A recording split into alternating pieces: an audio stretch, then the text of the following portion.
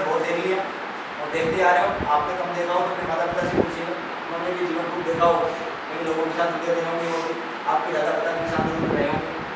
सबसे बड़ी बात है लोगों का प्रयास करें आशीर्वाद